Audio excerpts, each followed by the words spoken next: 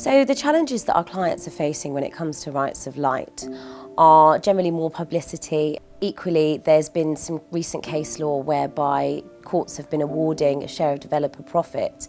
I'm Anna Beedsmore and I head up the legal indemnity team at Gallagher. There's sort of ambulance chases in the industry whereby surveyors can, can knock on the door of, of neighbouring um, property owners and just make them aware that they might have a rights to light for a new development that's going up.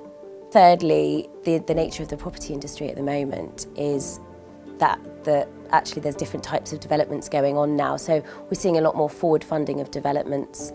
Um, and this, this really is affecting the way that policies are drafted because we've got to make sure that we're meeting the milestones of the development within the policy.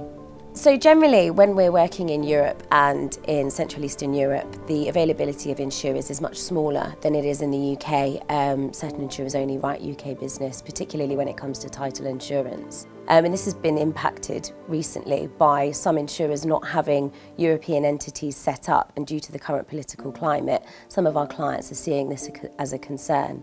The second point is language capabilities. Insurers do have some language capabilities, but often it's, it's actually the understanding of the legal climate in each territory and understanding of the actual legal defect that has occurred and whether this is insurable or not. So what we look to do is work closely with our, with our clients to ensure that any, any language issues are resolved quickly and sometimes we don't even need the documents to be translated beforehand.